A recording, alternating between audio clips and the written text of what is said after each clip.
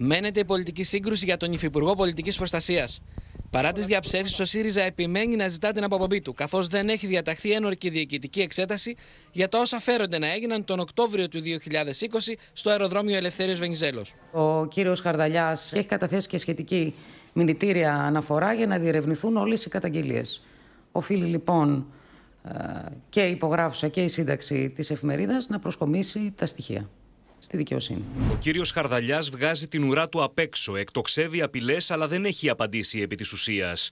Για ποιο λόγο δεν διέταξε καν να γίνει μια αυτονόητη ΕΔΕ ώστε να διερευνηθούν οι αποκαλύψεις; Τι φοβάται; Πρόκειται για συκοφαντικό δημοσίευμα, το οποίο με μεθοδευμένο τρόπο κατασκευάζει αθλειότητες σε βάρος μου προσωπικά και με μπλέκει με ενέργειες για τις οποίες ουδέμια γνώση είχα ή έχω.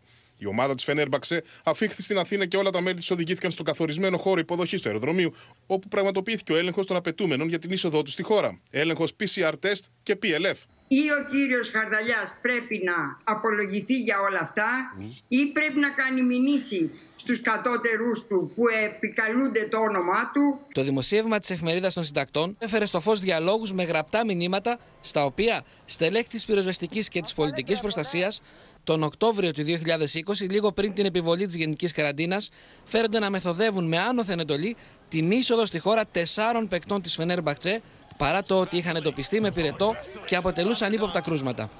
Τέσσερα άτομα συνοδείας από τη Φενέρ έχουν πυρετό. Να περάσει η ομάδα. Σίγουρα. Εντολή Χαρδαλιά, τελειώνεται στο πακιστανικό τηλέφωνο. Εντύπωση προκαλεί το ότι οι υπάλληλοι του αεροδρομίου, σύμφωνα με το δημοσίευμα, ζητούν από τους πυροσβέστες να μιλήσουν μέσω πακιστανικού τηλεφώνου. Αριθμού δηλαδή που δεν είναι δηλωμένο στο όνομά τους, γεγονός που αν είναι αληθές δείχνει πως κάποιοι κάτι ήθελαν να κρύψουν.